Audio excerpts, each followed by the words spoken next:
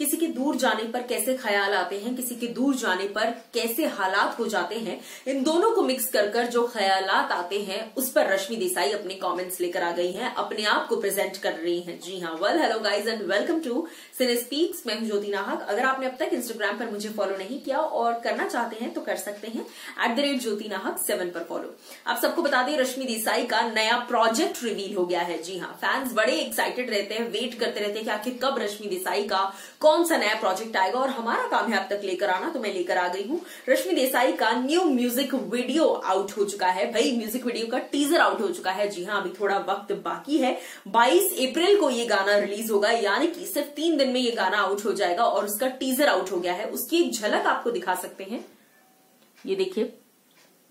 ये लुक है कुछ रश्मि देसाई का। ये डरा हुआ फेस देखकर आप अंदाज़ा लगा सकते हैं कि जुदाई का ये सॉन्ग है और जब किसी को किसी से छीन लिया जाता है तो कुछ ऐसी ही हालत होती है। ऐसे में रश्मि का एक और पोस्टर आउट हुआ है, ये देखिए। आप देख सकते हैं, रश्मि ने शेयर किया है और इस पर लिखती है experience the bliss of true love story with the heart warming Khayalat song Khayalat releasing on twenty second of April statue cast Rashmi Desai and you know अरमाना Armaan Abbas of course नज़र आने वाले हैं। माफ़ कीजिएगा। अरमान अब्बास नज़र आने वाले हैं एंड बहुत ही ब्यूटीफुल सोलफुल सा ये ट्रैक है क्योंकि फील यही हो रहा है, जैसे ही आप इसको सुनेंगे। इंस्टा पर आप जाकर देख सकते हैं, रश्मि ने इसका टीजर पोस्ट किया है। आपको कैसा लगा बताइएगा ज़रूर हमें और उसी के साथ साथ कितने एक्साइटेड है वो भी।